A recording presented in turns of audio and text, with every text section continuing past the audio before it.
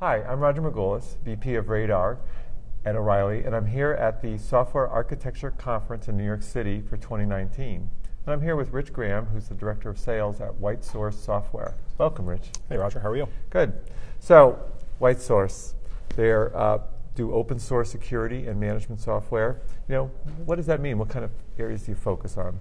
Yeah, sure. So, yeah, we, we, we like to say we help our customers harness the power of using open source.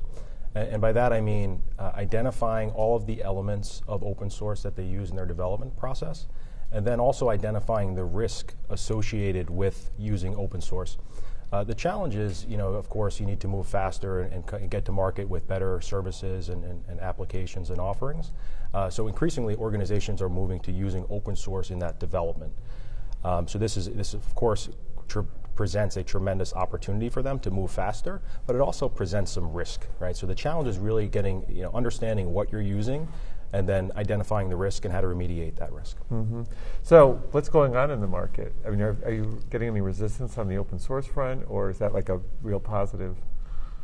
Yeah, so uh, the market that we, we, we, play in is called software composition analysis. Really, it's kind of an intersection between InfoSec, traditional InfoSec, and, and DevOps or DevSecOps, which I think has rather been aptly termed. One yeah. of the terms I like. Yeah, it is a good term. Yeah, uh, and, and I think we're in a um, sort of an inflection point where we've, we've, uh, we've been working with what you'd call the early adopters in the market, and we're transitioning now into the mainstream or early mainstream. Um, and so, you know, I think it's analogous to, to the cloud, um, where a lot of organizations today are taking a, a cloud-first approach to their architecture. Um, we're seeing in development, most organizations are taking an open source first approach.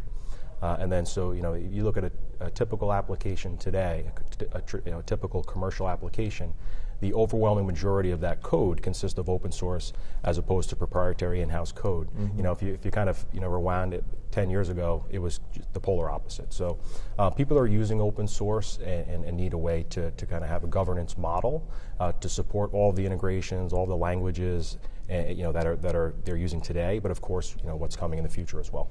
That's great. We notice the same thing on our platform. So that there's definitely a, a, thing towards the cloud and towards open source. So growth and shift in the market. What, what do you think is coming next? Yeah, I mean that, that's that's a great question, and, and it's something we're always trying to you know keep our ear to the street uh, about kind of what's you know what our customers are asking. And, and, I mentioned you know we've been very fortunate at White Source to work with a lot of the early adopters in the market, and they're driving a lot of the innovation that that that's that's you know taking place. Um, we like to think of it as white source everywhere. So you can invoke white source, you know, right through the browser. Tools for developers um, that enable them to vet open source before bringing it, you know, before even bringing uh, components in house. You know, it's, it's, the best way to shift left is not even to bring in those questionable components. Um, you know, the, the concept of effective usage or, or am I affected by security vulnerabilities? So at White Source, we have what's called prioritize. Um, so not only do we bring the, the uh, alerts and the inventory of the open source that you're using, we'll actually show you in your application code where you're calling out to a vulnerable open source component so that you can prioritize your remediation. Uh, in addition to this, we'll show you where you're not calling that component, right, which is mm-hmm. even better. So if you have a green shield within the UI, you know I'm not affected by that security vulnerability. We found that about 70%, 70 of the uh, security vulnerabilities that show up in an inventory, you're not actually calling, right? So you've pulled in the library, um, but you're not necessarily calling that vulnerability. So kind of bringing that level of granularity to, to the remediation process is really a game changer.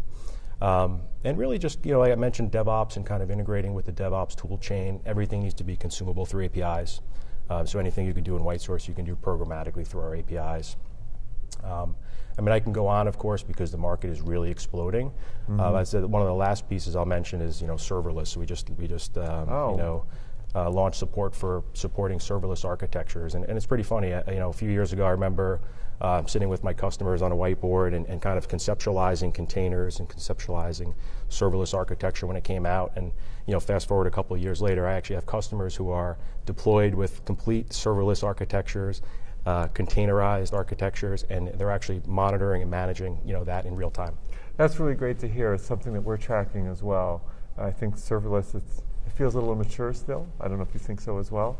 But uh, it's definitely something a lot of people are talking about these days. Yeah, I, I was at a conference just uh, two weeks ago, and it was with a startup, uh, startup type company. But his entire infrastructure is, is, is, is based on uh, serverless. Interesting. Right, even even in production, when I when I kind of gasped and looked at, it, he says, "I get that reaction a lot." Right, so maybe it, it's it's sort of the, the, the, legacy companies that need, you know need to keep this uh, sort of at the forefront of their minds, and they they're they're competing with the startups of the world that can that can start off with that architecture in mm-hmm. the first place. Is there anything else you want to share about how customers are implementing WhiteSource? Sure, yeah, um, that's a great question. So, uh, most of our customers will implement uh, the technology as a part of their CI CD pipeline. Um, and it's one of the value props for using white sources. We want you to use the tool, right? Some of the code scanning technologies have gotten a, a bit of a, you know, a bad name, if you will, um, for becoming a bottleneck for development. So at White Source, you know, we encourage our customers to integrate with the CI pipeline and, and you know, we have customers literally that have 400, 500,000 jobs configured leveraging White Source, and every time they run a build, they run White Source in parallel. Um, also talk about you know implementation. I have a, a large customer, uh, a bank financial customer that um, that doesn't even log into the UI, right? I mentioned anything you can do in White Source, you could do programmatically through our REST APIs. So they'll use White Source's APIs and pull that data as part of their broader risk management platform. I think that's an interesting use case. Mm-hmm. Uh, but it's, you know, I, am forever surprised. It's a very flexible technology, and I learn more from the customers of how they're using our technology. Uh, and then and they kind of tell us how they're using it, and we kind of you know kind of build use cases for future around that. There are certainly some standard use cases for, for you know how, how customers, like I said, they, they, the idea is to continually and automatically monitor your open source and your risk. So CI/CD is usually a good place to start. Um, but our customers are always keeping us on our toes. Mm-hmm. What is the con- share between your your GUI and the uh, API usage? Would you say? So, uh, you know, I think most customers will have a, uh, it's, a, it's a great question actually, I never really thought about it. Um, most of our customers will use the API for some integration points when they want to pull some data. Um, However, they'll also use the UI. Uh, the, the, the, use case I mentioned, I think, is rare. Most folks will have access to the UI. Mm-hmm. There's also workflows you can create inside of work uh, inside of White Source. So these are, you know, policies we call them, or custom workflows where you can bring in human intervention. You can create, um, you know, assignments for perhaps even a legal person to get, you know, to look at something uh, that popped up in the code and then kind of sign off on it or even go as far as breaking a build based on that information. Um, so those users, of course, would need access to the to the portal UI. Mm-hmm.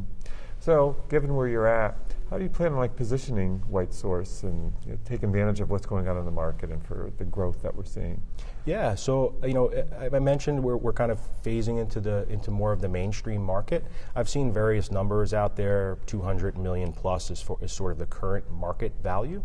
Uh, and that's projected to go up 8 to 10x in the next few years, right? So there's a lot of growth in this market. People are, are, are they're starting to understand that uh, what the challenge is.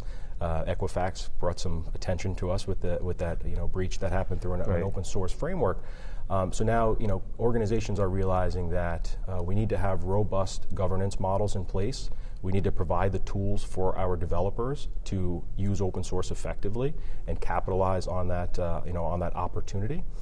Um, so really, uh, it, the, the, the, future looks very, very bright. Uh, we just took a, another round of investment of 35 million. So think right now we're around 150-ish employees total. By this time next year, perhaps when we sit down again, the goal is to be around 300. Great. This is really pretty interesting. Great fit for our conference. Thanks again for your time. Yeah, thanks, Roger. It was a, thanks for having me.